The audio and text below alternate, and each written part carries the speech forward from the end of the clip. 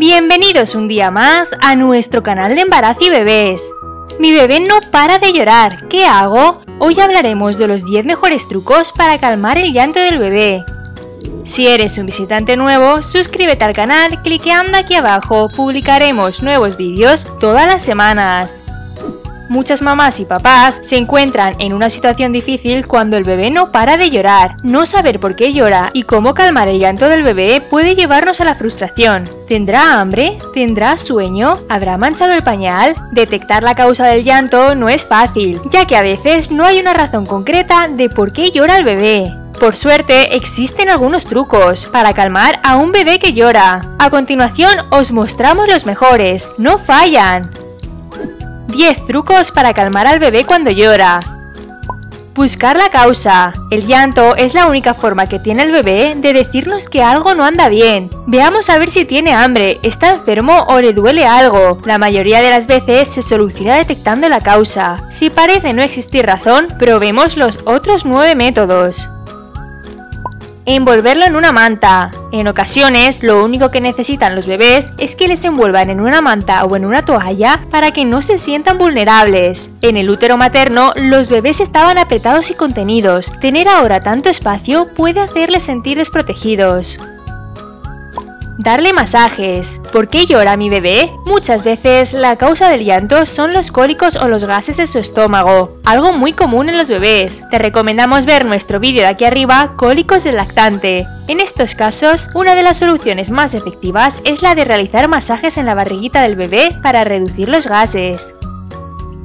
Piel con piel. Colocar al bebé piel con piel con mamá es uno de los trucos para calmar el llanto más utilizados. Escuchar el sonido de los latidos de su corazón, sentir el calor de mamá y oler su piel tranquiliza a los bebés.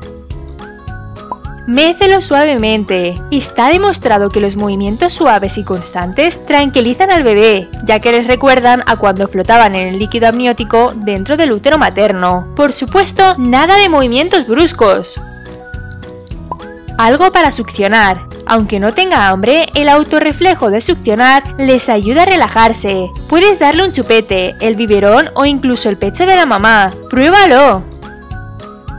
Sonidos monótonos. Escuchar el centrifugado de la lavadora, encender la radio o el sonido del ventilador son algunos sonidos caseros que recuerdan al bebé a su vida dentro del útero. Estos sonidos pueden ayudar a calmar su llanto.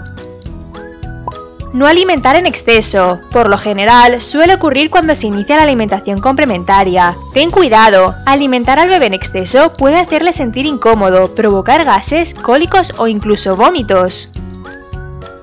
Paciencia. Mantener la calma es el consejo básico para tranquilizar a un bebé. El llanto del bebé provoca tensión en mamá y papá, y esta tensión hace que el bebé llore aún más. Intenta crear un ambiente relajado. Anota cuando llora. Lleva un seguimiento de los momentos en los que tu bebé llora, come, duerme, está despierto o mancha el pañal. También el tiempo que tarda en cada acción. Junto con tu médico, estos comportamientos os ayudarán a detectar la causa del llanto.